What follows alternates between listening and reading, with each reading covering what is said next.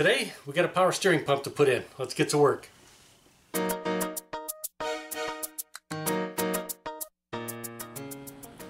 This is what we're working on today, a 2012 Honda Pilot.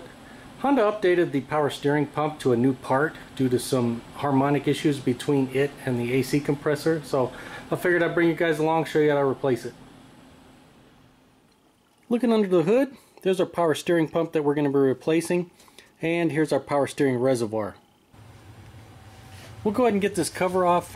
We just need a flathead screwdriver. We'll just go in here like this on each one of these.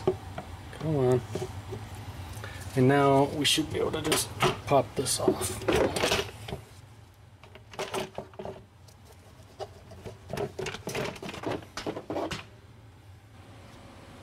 It's over 100 degrees today, so I got to run the AC unit, so you may hear some background noise. I'm going to take a second to clean this area up. I'll just vacuum this stuff up and probably hit this area with some brake clean.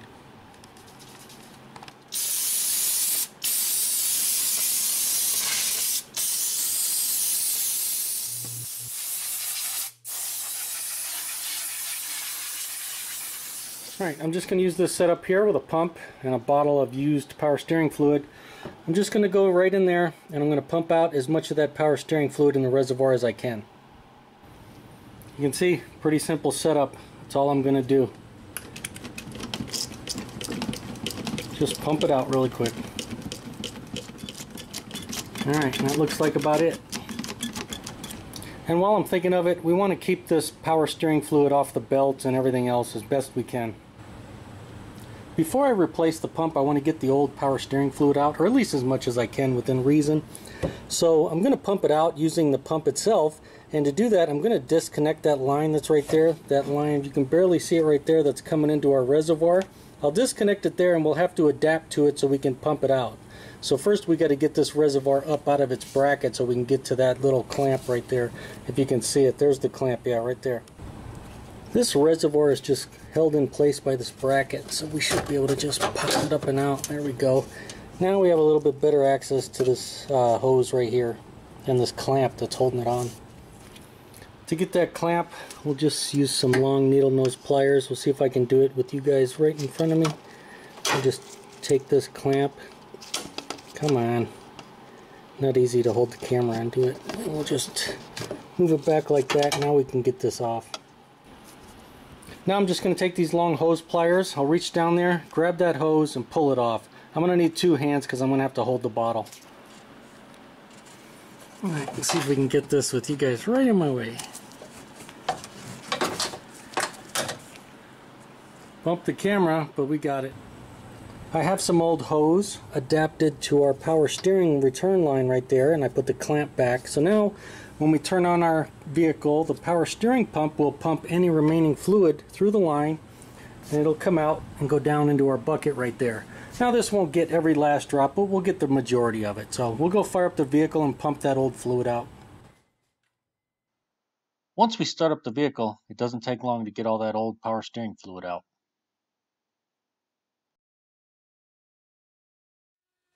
Now that we got most of that old fluid out, I'm going to go ahead and pull my hose out of here.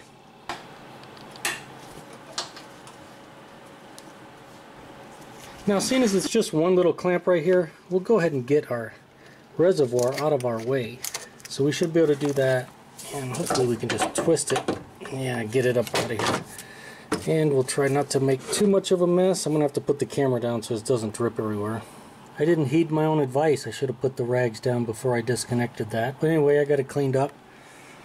That's it out of the vehicle. Still, I don't know if you can see it, there's still a little bit of fluid in there. So I'll go ahead and clean that out or I'll dump it out I should say and then I'll clean everything up I'll just hit it with a bunch of brake clean and dry it out and then it'll be good as new okay reservoir is all cleaned up ready to go back in the car now we got to get our belt off this power steering pulley right here now to do that we need to put a long wrench or serpentine belt tool on our tensioner right here so that's a 14 millimeter nut so we need a wrench long enough or a serpentine belt tool long enough that has a 14 millimeter end to put down there and then we'll just push the wrench slowly this way and that'll put or loosen tension on our belt and we can take it off.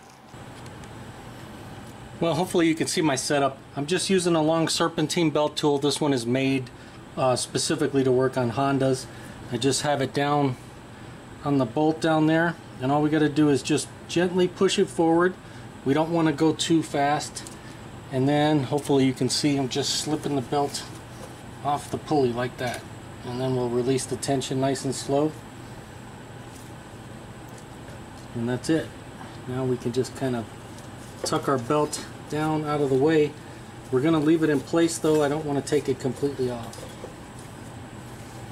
and this is the tool made by uh, Schley Products uh, 10950 that should be the part number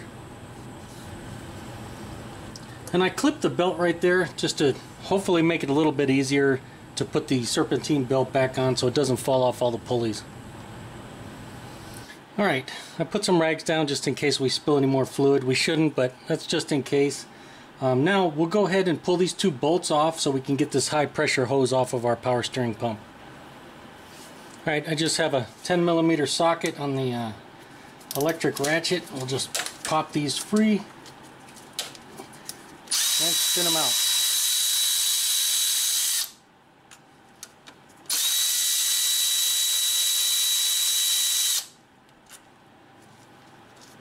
They're both the same length so you can't mix them up. Alright, now we'll just pop it up out of there. I'll use a sacrificial Harbor Freight glove so we don't make too big of a mess. Come on. There we go. Now we can just put that up out of our way. That'll be good right there. Alright, I put a hood prop up. That way I could take the one that's attached to the vehicle and tuck it up out of the way so hopefully you guys have a better view now. Now, to get this pump out, we have to remove some stuff. So we have a couple of choices. The easiest choice in my mind is just to take this intake manifold tuning actuator out of the vehicle. So there's just two hex bolts right there and we can pop it off and get it out of our way. We do have to unplug it first. If you don't know what this uh, IMT is, basically there's a, a flap in there and all this thing does is turn that flap and it diverts the air. And if I remember correctly, if it's all the way closed, you get more low-end torque, and if it's all the way open, you get more high-end torque. But that's it in a nutshell. So let's go ahead and unplug this and, um, and pop these two bolts out. Alright, to pop them out, we're going to need a hex. I'm using a quarter inch so it'll fit in here. Otherwise we have to use a long one because the 3 ace won't. And I'm using a little bit longer ratchet. Uh, this is a 5 millimeter and yeah they're not on there very tight. So we can get that one and that one. And now oh yeah I can just spin them off.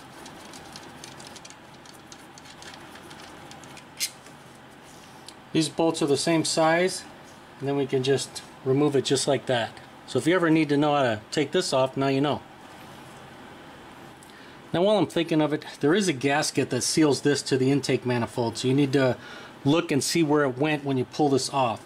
Sometimes it could stick here, but I think in most cases it usually sticks onto the intake, and that's where this one is right here. Honda recommends that you replace it, so we do have a new one for this job.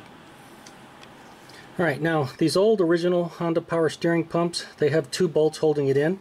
One is right here, and one is down at the bottom, so we're going to need like a 12 millimeter socket or something like that to get them off.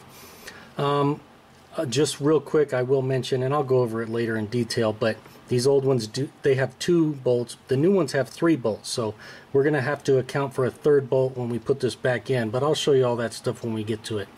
In the meantime, we just got to get those two bolts out so we can get our old pump off. Alright, 3 8 inch ratchet. This one's a little bit longer to give me better leverage. And 12 millimeter socket. We'll pop this one off first.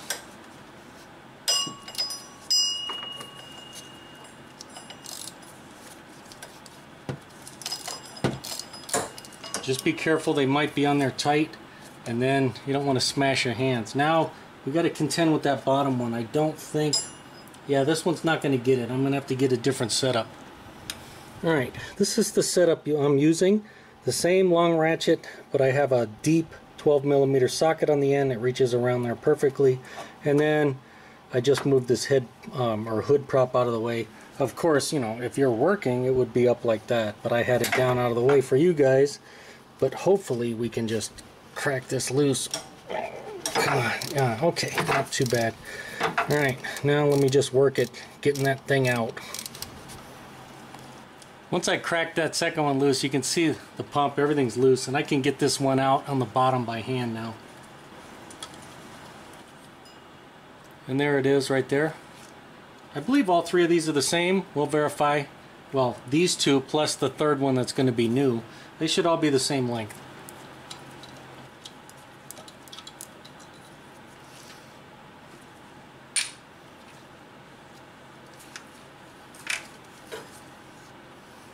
And there's our power steering pump.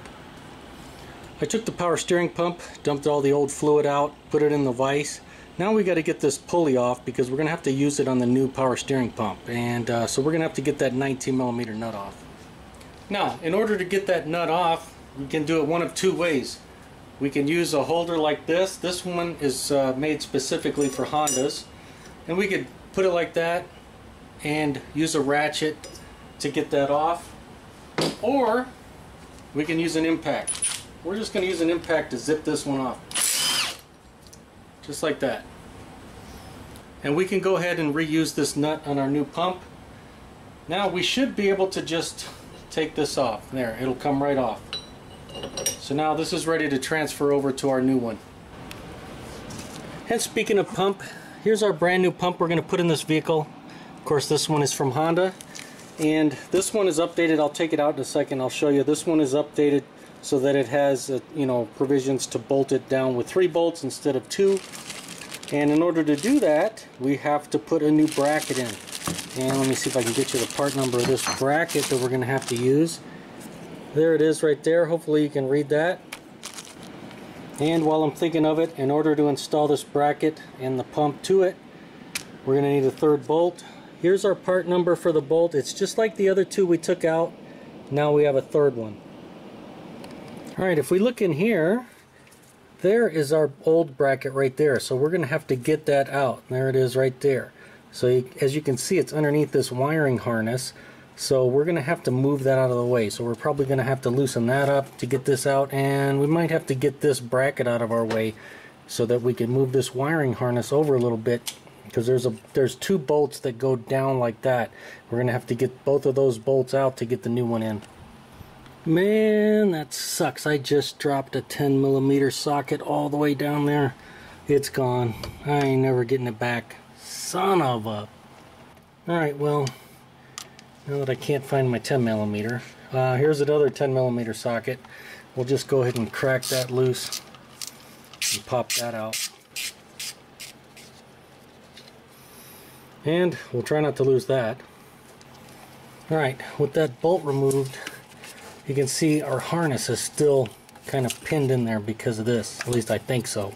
So we're going to pull this bracket off two 12 millimeter bolts right here. See if we can get it with this. Come on. Oh, that one's a little tighter. Alright, I'm going to put my hand down there so I don't drop those bolts, but we'll get that bracket out of the way. Alright, there's the top one. There's the bottom one. They're both the same. Now we should be able to just set this bracket out of the way. We don't even have to remove that ground wire. Now, can we move this harness enough? I think so. I think we can just sneak around there. Maybe we'll use some extensions or something and we'll get those two bolts out. Alright, I got a 3 8 inch ratchet on there. This one's a little shorter. I do have a, I think that's a mid-length uh, socket on there, 12 millimeter. You can see it's just on the bolt right there. So we just have enough room to sneak in there and get it. Let's see if we can crack it loose. Oh, come on. Ah, that was a little tight. Alright, can I get the other one? I might have to put you down and see if I can get that other one now. Okay, I'm on there with the same ratchet setup. You can see we're just got to get around the corner there. See if we can crack this one loose. Come on. We got to be careful not to hurt our hands. Yeah, that one was on there. Okay, now they're loose. I think I can spin them out by hand now.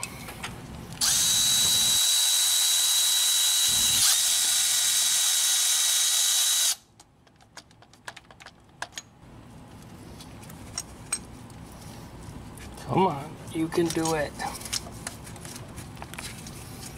And there's another, I forgot. We got this little bolt we gotta get off. I forgot about that. It's just a little bracket holding a, a wiring harness on, so we gotta pop that 10 off. I did forget about this little bracket right here that holds this wiring harness on. So I popped that loose. We just gotta get that off. And try not to drop it like I did that socket. And there we go. And now we can get our bracket out. Alright, I went ahead and grabbed our new bracket so you can see the difference right there. So this is how the bracket sits in there. And there's that little bolt that I forgot. But that bolt and that bolt is what holds the bracket down. And then this thing right here, that's a provision for our third bolt on our uh, power steering pump. So we just got to set it down into place just like that. So there's our old one. And compare it to our new one. Make sure they look the same other than this. We're good to go. Right now we just gotta set this back into place. Come on. Uh, this little harness is definitely in the way. I think I'll, I'll go grab that bolt and I'll put that in right now so I won't forget it. And then we'll get it down into place. Alright, I got the bracket for the wiring harness back on and buttoned up. Now, I just have to put the two bolts for our power steering bracket back in. Um, they're both the same, so let me go grab them and put them in. It's kind of tight, and I needed both hands to get that little bracket in there. It's just a, it's a pain, and it's tight, and I can't fit the camera in there. Alright, both bolts are in there, started by hand. You can see that one, and hopefully you can see the other one back there. Can't tell if you can see it or not, but it's right there. Now I just got to tighten them up.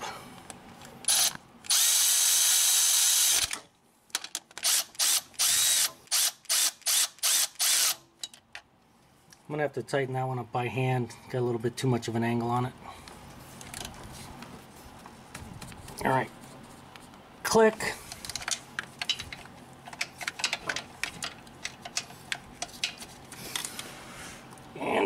Click. Torque to spec. Now we'll just put this wiring harness back the way we found it. Just like that. Get that bolt in there and then we can put our bracket back into place.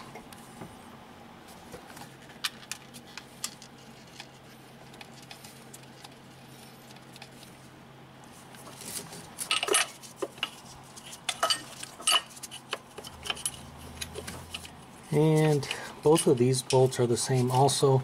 I haven't come across any bolts that were different, like in the same piece. These bolts and the ones in there are different, so don't mix them up. But as far as these two are the same, those two are the same.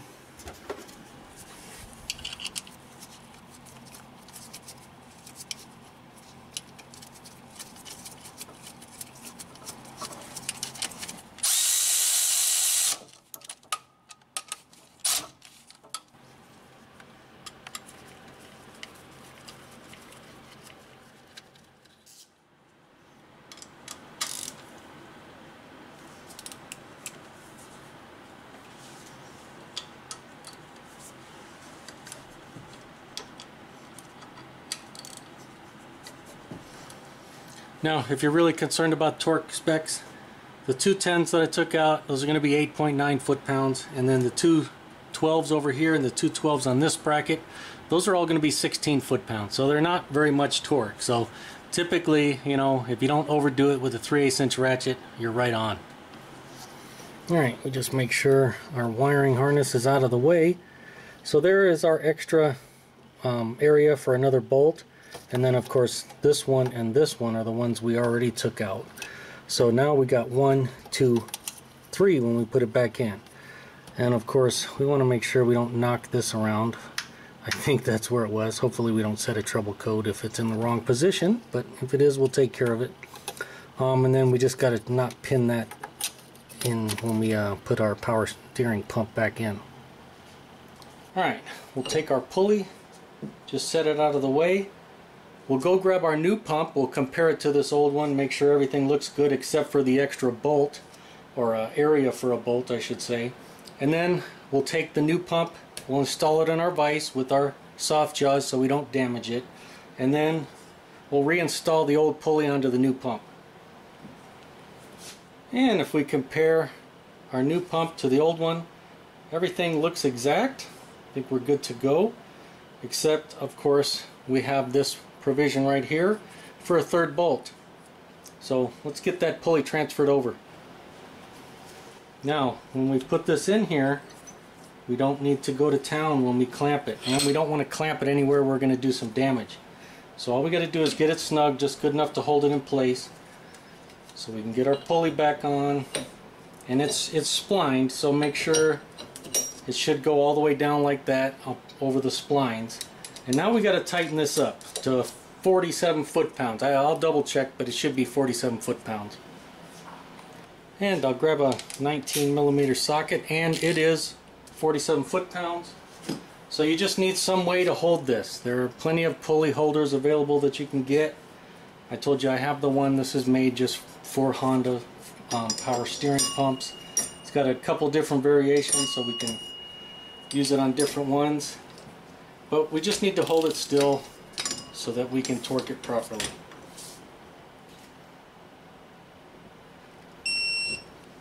Eh, 47.3. And seeing as I'm right here, I'm just going to double check it.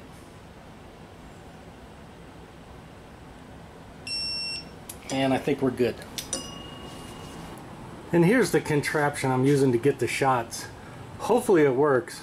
I don't use this thing very often because it's kind of a pain, but it's hard to film on a SUV type vehicle up and over down like that and still use both hands to do the job. So hopefully this video comes out.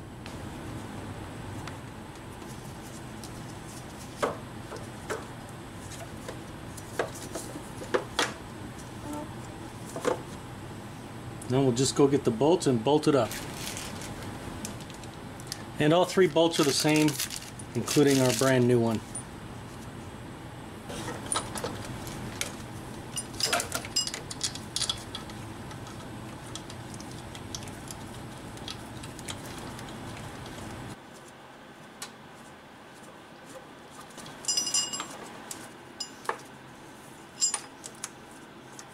Try not to drop this third one. And definitely start them all by hand. Make sure they're going in.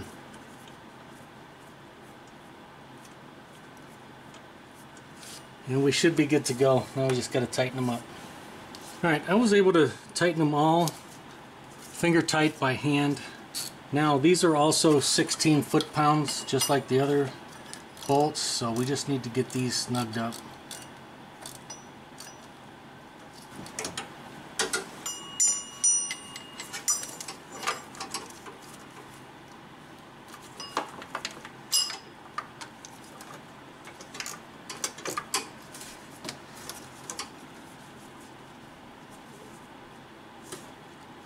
Click. See if I can sneak past the pulley with a, a deep socket here. Oh yeah, I think there's just enough room.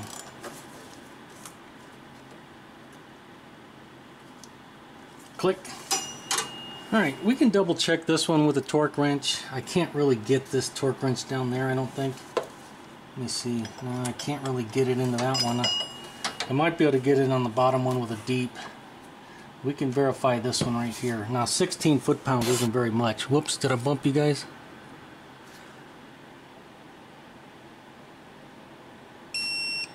Yeah, it didn't even move it. 16.1. So just use your mind, not your muscle when you're doing these. Now I want to point out this is a 3 8 inch uh, torque wrench.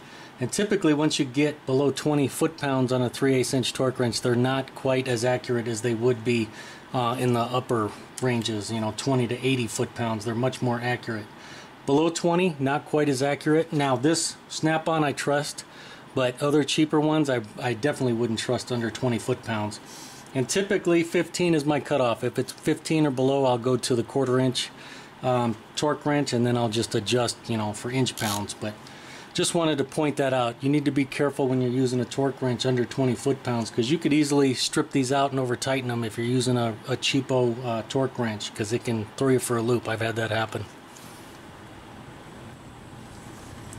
Looks like I can get this front one also. Now it may look like it was moving based up here, but that's just the torque wrench head flexing a little bit. The actual bolt did not move. Uh, I cannot, yeah, I can't get a torque wrench with these lines in the way. I don't believe I can get it any way around here. Now I'm not even going to try. I'm confident that they're all 16 foot-pounds. Okay, now we can reinstall our actuator back on the vehicle. Here is the gasket that Honda recommends should be replaced. Honestly, I don't think it's the end of the world if you reuse the old one. I'll just pull this one off. I mean, this looks in good shape. Honestly, if I didn't have a new one, I would probably have no problem reusing that. Um, we want to try to keep that in the same position. There are some teeth that mesh up. I think if it was off a little bit, the computer will recognize it and it will fix its problem, but just something to be aware of though in case you got issues. And of course, just make sure there's no garbage on the mating surface here. Looks nice and clean. This side looks perfectly clean too. And so this will just set in place and then there's a little tab right there so it gets oriented correctly. You just set it down there. Now it's good to go. Just make sure it's not twisted. Alright, we'll see if we can't slip this back into place.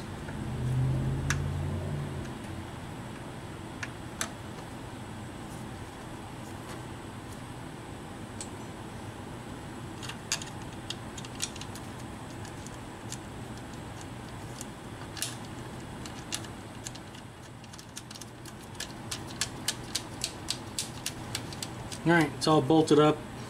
The bolts are in place. Now we just gotta torque them down or tighten them up.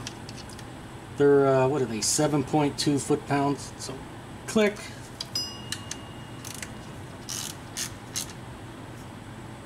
Click, that's 7.2. And before we forget, let's go ahead and plug this actuator back in. There's one O-ring connects right there so we have to replace that. And that is going to be this outlet hose o-ring. Uh, there's your part number right there. Hopefully you can read it. 14.4 times 1.9 millimeter. Hopefully that's correct. Hopefully I'm giving you the right information. That should be that one. And then this o-ring this 14.8 times 1.9 millimeter this should be the inlet or the suction side. So that's going to go right down here on the pump but it already comes installed when you get the new pump from Honda. This little piece right here is already installed with the new o-ring.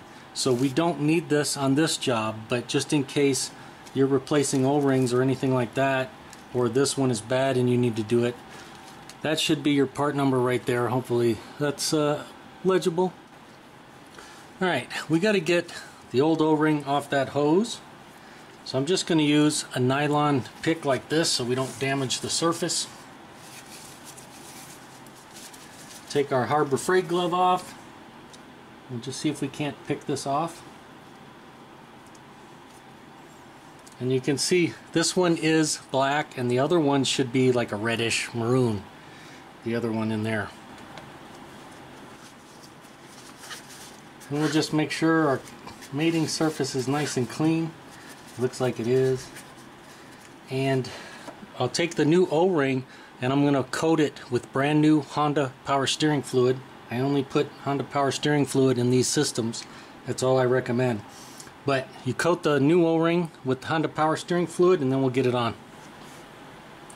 Okay, got the new one here coated with power steering fluid. We'll just go ahead and pop it on if we can.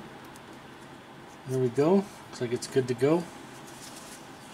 And we'll take this little cap off, make sure our mating surface is clean there, and just pop it into place. You should feel it kind of overcome that uh, O-ring and pop down into place. And put these bolts back. Get them snugged up. These are only 8 foot-pounds, so we don't need to kill them.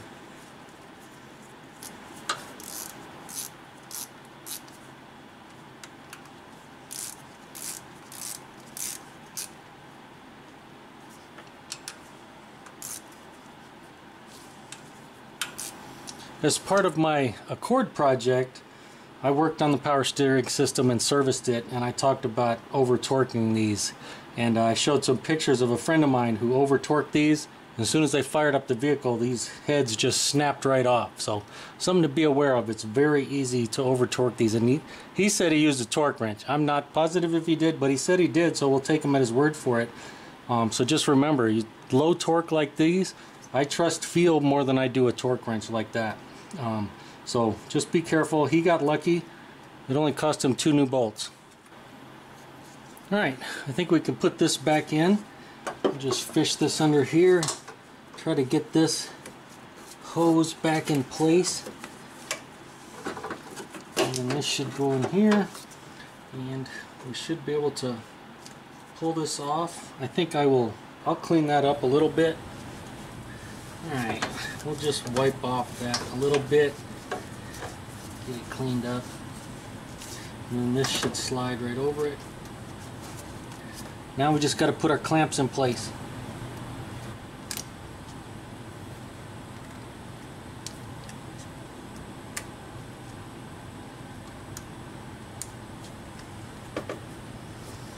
We try to get these clamps when when you're reusing hoses try to get the clamps right in the same exact position. That helps you avoid leaks.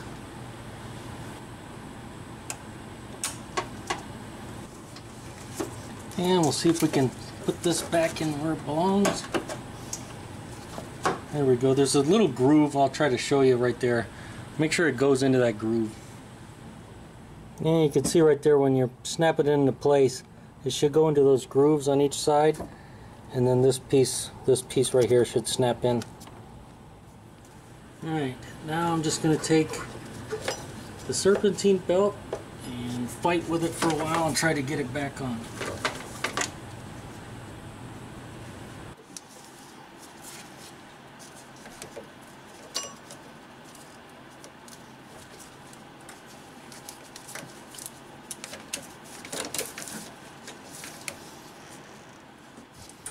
whenever you're putting the belt back on, the angles can change because the belt's not on, you know, the pulleys, and so our tensioner is in a different position. So you kind of have to play around. In this case, I loosened that up and had to go on this side of it to get the belt back on because I tried to go the other way and it wouldn't. But in any event, sometimes you got to improvise like that, you know, when when you're working on cars, not only putting belts on, but just working on cars in general.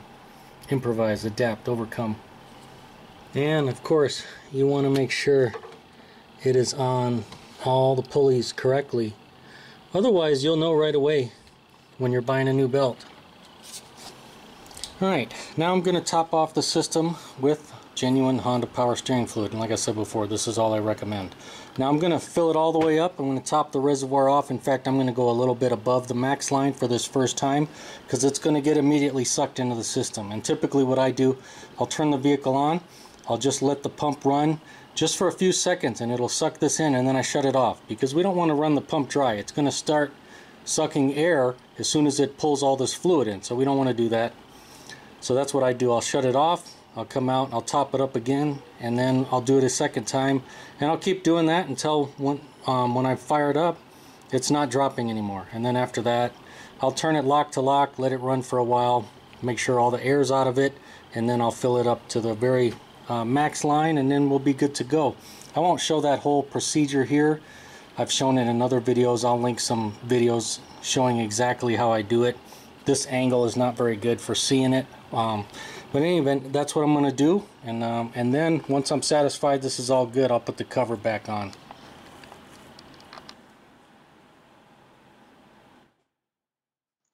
If we watch the power steering reservoir, we can see the fluid getting sucked into the system. I'm just going to do this procedure a couple more times till I'm satisfied there's no air in our system and the power steering fluid is all topped off. Alright, now that it's all topped off, go ahead and see if we can't get this thing reinstalled.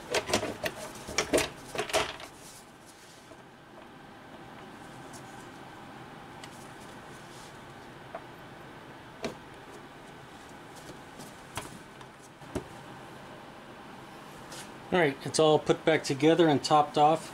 And while I'm thinking of it, you're probably going to need at least three bottles of Honda Power Steering Fluid if you're going to do this job. Well, that's it for this one. And as always, if the video helped you out or you liked it, make sure to give it a thumbs up. Thanks for watching.